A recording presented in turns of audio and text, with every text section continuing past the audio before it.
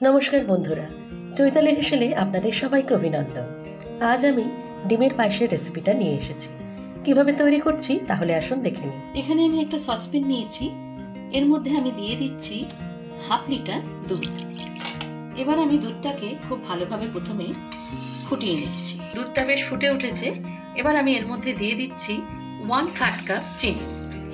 এবার চিনিটাকে খুব ভালোভাবে দুধের সঙ্গে মিশিয়ে এখানে আমি তিনটে মুরগির ডিম রেখে দিয়েছি।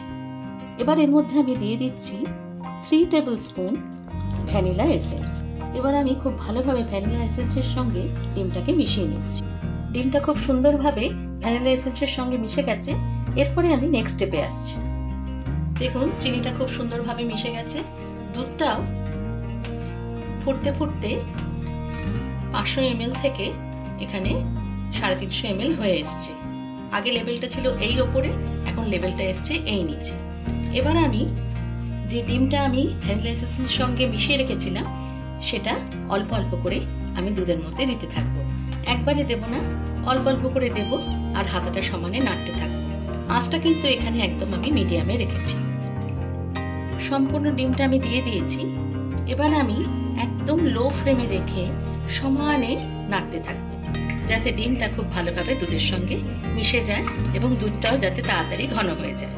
দেখুন, ডিমটা দেওয়ার পর দুধটা ডিমের সঙ্গে খুব ভালোভাবে মিশে গেছে আর দুধটা বেশ ঘন হয়ে এসছে। এই অবস্থায় এর মধ্যে আমি দিয়ে দিচ্ছি কাজু, আমন্ড এবং কিশমিশ।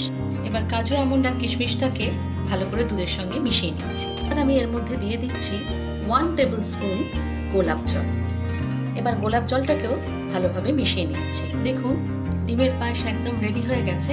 এই অবস্থায় আমি গ্যাসের সুইচটাকে বন্ধ করে দিচ্ছি আর এটাকে যে পাত্রে রাখব সেই পাত্রে ঢেলে রাখছি।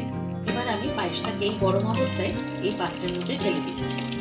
এবার এটাকে আমি রুম টেম্পারেচারে রেখে ঠান্ডা করে তারপর দু ঘণ্টার জন্য ফ্রিজে রেখে দেব। ফ্রিজ থেকে বের করে এনেছি। দেখুন, ডিমের পায়েসটা কত সুন্দর তৈরি হয়ে গেছে। এবার আমি এটাকে এইভাবে গোলাপ ফুলের পাপড়ি দিয়ে ডেকোরেট করে দিচ্ছি। আর ওপর থেকে ছড়িয়ে দেব কিছু চেরি। এইভাবে খুব সহজেই বাড়িতে থাকা উপকরণ দিয়ে তৈরি করে ফেলতে পারেন একটা অসাধারণ ডিমের পায়েস, যা বাইরে বাইরে তৈরি করলেও অরুচি হবে না কারোর। আমার আজকের রেসিপিটা যদি আপনাদের ভালো লাগে লাইক করবেন শেয়ার করবেন কমেন্ট করবেন সাবস্ক্রাইব করতে কিন্তু ভুলবেন না। খুব ভালো থাকবেন।